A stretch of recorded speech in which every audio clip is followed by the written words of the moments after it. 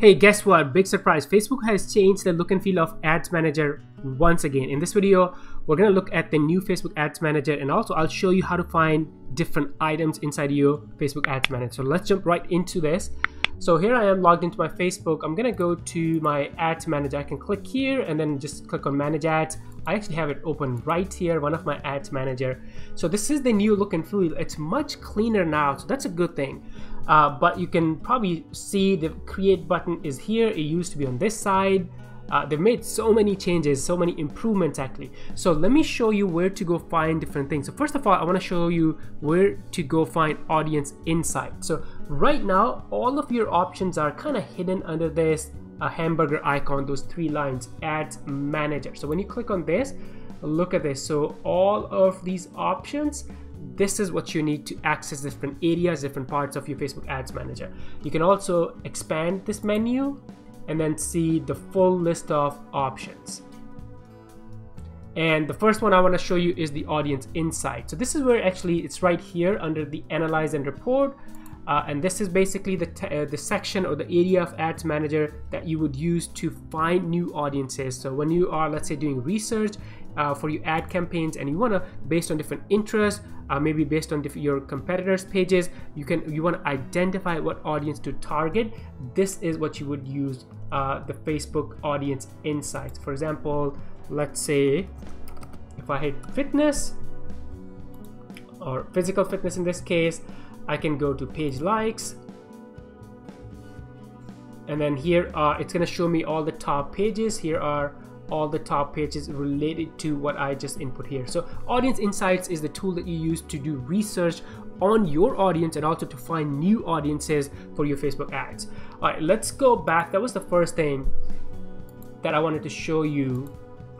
So Facebook it used to be very uh, like in the face right inside the ads manager but it's kind of hidden now. It's still available everything is still available but they just have moved things around.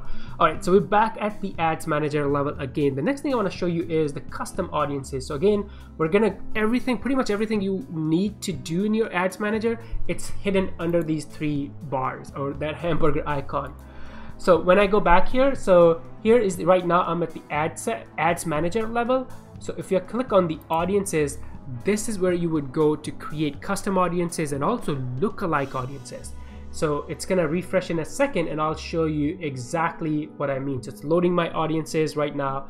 This is it. So you see how I have several custom audiences and then also lookalike audiences built inside this account. And to create a new audience, you will just click on create and then if you click on custom audiences, you can build your custom audiences based on several different like source audience. So you can build, uh, use your website if you have Pixel installed. By the way, you should have Pixel installed on your uh, website.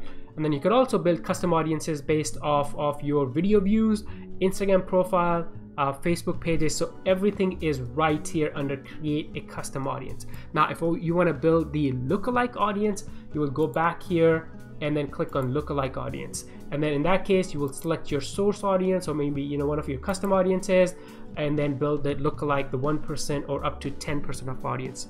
So everything uh, related to custom audiences and lookalike audiences is hidden not hidden I shouldn't say hidden. It's under audiences section right here. All right so that's that. Now the next thing i want to show you is the where is all, uh, all your pixel data? The pixel that you want to create and then install and then look at the activity. So it's all hidden under the event manager right here. So we'll click on that and then it's gonna show us the data about the the pixel and also the activity. And also if you have set up different like custom conversions it's also gonna show you the data on your custom conversion. So here we go. So we have this pixel installed and it, we're getting the page view. So which means it's working great.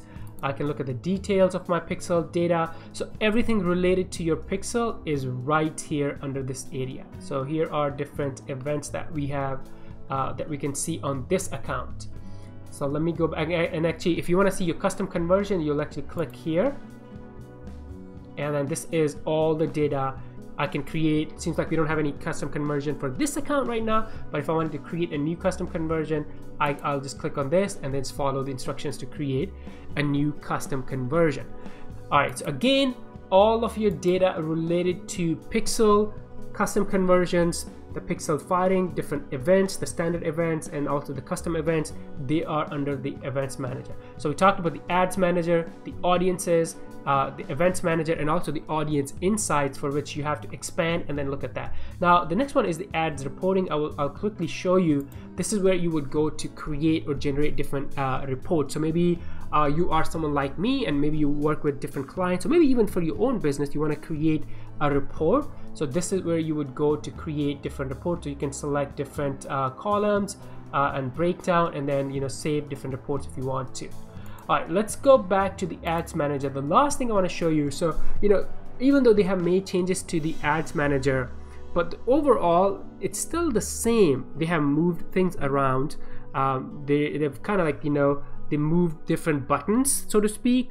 Uh, so but the functionality is all still there and another thing i want to point out is sometimes they do a lot of a-b testing. So if i'm looking at this view the the view that you look at may be slightly different because sometimes facebook runs like a-b testing. So maybe they want to uh, you know you may see an ads uh, manager with the create account instead of here it might be on this side. Just an example. I'm just giving you an example. But i've seen that where different people see different variations in their ads manager and that's mainly because facebook is doing a b testing and before they roll out to the global audience they do these a b testing to see you know how the audience respond. This is what their way of doing a b testing. But again like i always say if you see anything different by the time you watch this video if things have changed do not panic do not worry. Leave me a comment. Reach out to me and i'll help you find where the uh, you know how to uh, navigate to the right options. Uh, the next thing i want to talk to you a last thing is actually the process of creating the ad. And it's still the same. To create facebook ad campaign so you'll have to click on the create button. And it's still the three step process. So step number one is your campaign objective which is right here. Step number two is your ad set. So this is where you define your audiences and also your placements and also your budget. Placement means where do you want to run this ad on Facebook or Instagram or both or maybe even uh, Messenger or, or, uh, or, you know extended network. So different those are the placements. And then the step number three is the ad campaign the actual sorry the actual ad so that's where you select the the image or the video or the copy um, of your ad so the even though it looks different now in 2020 than let's say even uh, you know January this is the I'm recording this video in May of 2020 this looks way different from what we saw in January of 2020 and that was actually you know it's way different from 2019 and 2018 and again like I said by the time you watch this video they might make more changes who knows? Um, but don't panic don't worry it's still the concept is still the same. It's still to create Facebook ad campaign ad creation is still a three-step process. You have to identify your objective. So in step number one you'll pick your objective whatever objective you want traffic engagement conversion. So let's say traffic uh, and then you go next. And then in step number two is uh, the ad set level. This is where you select your audience placement budget everything. And then when you go to I'm just gonna continue just so I can show it to you for the purpose of this video and then this is where you will select the actual ad creative the image or the video. It's, so it's still the three-step process. So one other thing i will quickly mention is they definitely have added a lot of like new functionality and new features as well. So for example if you look at the ads level look at this. So you can create ads the format the carousels and also the images and videos have always been their collection so this is the the recent one. So collections is the group of items that open into a full screen mobile experience. And then if you scroll down my favorite one is right here under media. You're able to create slideshows and also you're able to create uh, video. So in like older days we would use different tools like iMovie or sometimes like web-based tools to create videos or animations and then upload those to Facebook Ads Manager. But guess what? Facebook is giving a lot of those tools to us right here inside the ads manager. So they're making us it easier for ads manager for us to create different campaigns and also create different assets the images slideshows and videos right from the ads manager. So we don't have to use any other tool. So i feel that's a really good functionality that they have added recently so this is it guys. I wanted to quickly make this video and show you the recent changes. Some of you may have these changes for a while. Some of you actually just may have gotten these changes recently uh, but that's just facebook's way of rolling out new updates new features and new changes to global audience. Uh, but if you see anything that's different uh, from this video or by the time you're watching this video if you see any changes don't panic don't worry uh, reach out to me and we can find because they may move things around. Again they may uh, change the UI who knows? Uh, you never know how many changes there they make these changes frequently is something that I've noticed about Facebook and also on Instagram. Thank you so much for watching. If you have any questions you know where to find me right? Leave me leave me a comment or reach out to me uh, and I will see you in the next video. Bye for now